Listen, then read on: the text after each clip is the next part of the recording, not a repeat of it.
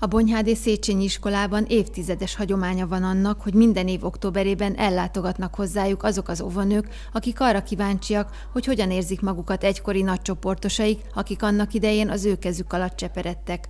Az utánkövetés célja az, hogy visszaigazolást kapjanak arról, hogy mennyire voltak sikeresek az óvodai fejlesztő foglalkozások, és hogyan állják meg a gyerekek a helyüket az iskolában.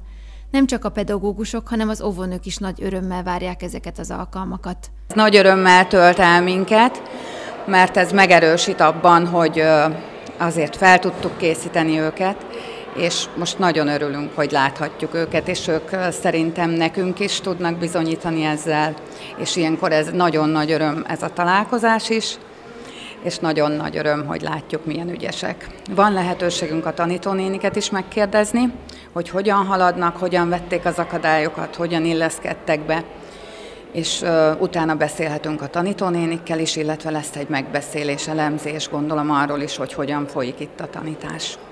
Az a tapasztalat, hogy az elsős tanítónénik hozzáállásának köszönhetően sokkal könnyebben alkalmazkodnak a kisdiákok az iskolai rendszerhez, hiszen az óvodai játékos mindennapok után komoly váltás beülni az iskolapadba. Saubné Linde Csilla óvónő elmondta, hogy ők hogyan tudnak hozzájárulni a gyerekek érzelmi felkészítéséhez is. Az érzelmi oldalt azt, azt meg kell támogatnia a szülőknek is, mi azzal tudjuk felkészíteni, hogy ott az óvodai közösségben, ott egy jó közösségünk van, és ezzel próbáljuk arra motiválni, hogy majd az iskolában is megtalálja a helyét, alkalmazkodni tudjon, be tudjon illeszkedni, illetve hogy részt vegyen, és részt vegyen a közös tevékenységekbe, és ezáltal akkor erősödjön az önbizalma, hogy ő majd itt is részt tud venni, és itt is megállja a helyét.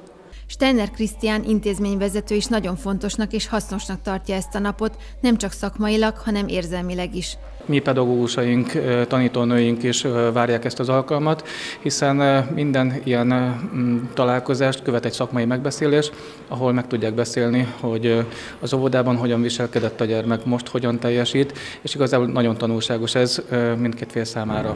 Mi pedig örülünk, hogy az óvónőket vendégül láthatjuk ezen az eseményen. Talán ők örülnek a legjobban, hiszen azért ilyen 6-7 éves gyerekekről beszélünk, akik korábban óvodába jártak, elszagadtak a megszokott környezettől, az óvonéniktől, és tényleg szinte megható látni, ahogy nyakába borulnak az óvónőknek, áttölelik őket, és tényleg egy ilyen szép találkozás.